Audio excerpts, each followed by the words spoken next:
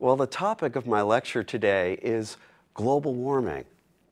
But before I talk about that, I'm going to give you some background information about Earth's atmosphere. As you already know, the atmosphere is what we call the layer of gases that surrounds the planet.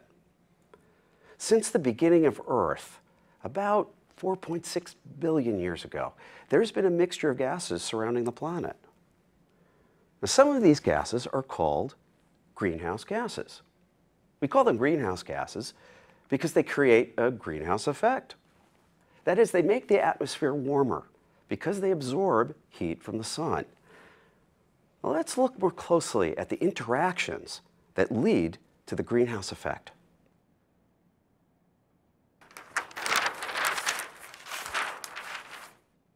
Energy from the sun is the force behind our climate systems.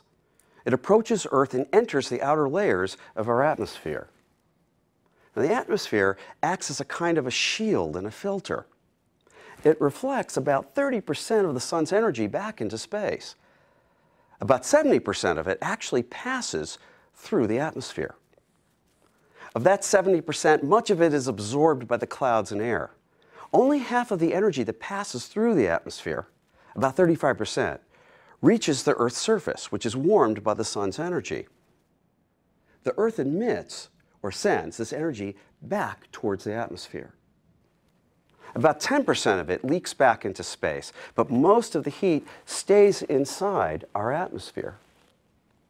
This process helps to maintain global temperatures within certain limits.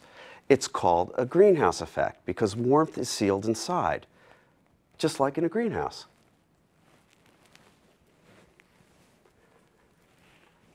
We've always had greenhouse gases in our atmosphere, and we've always had a natural greenhouse effect on this planet.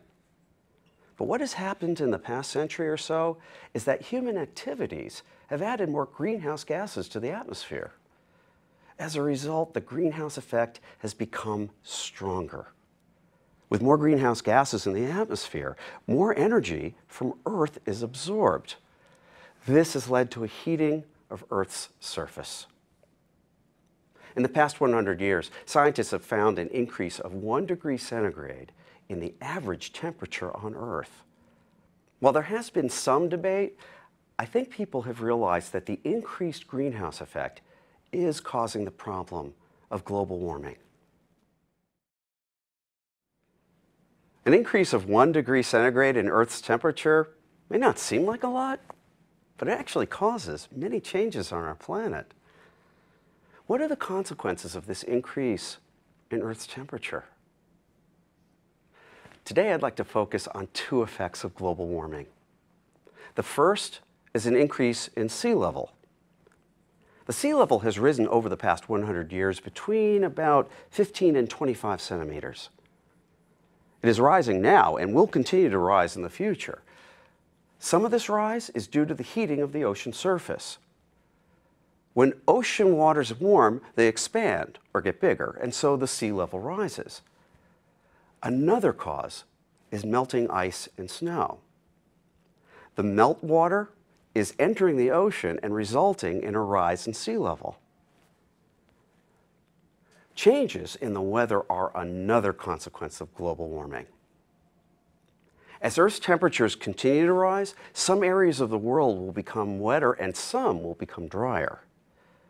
Already, many countries around the world are experiencing more and longer periods of drought. In other words, long periods of time without enough rain.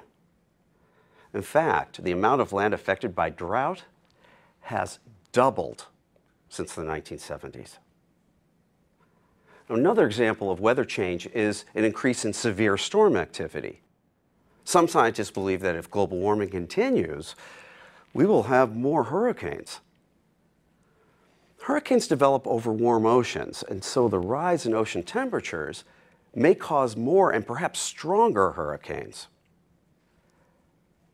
Today I told you about just two effects of global warming, a rise in sea level and changes in the weather.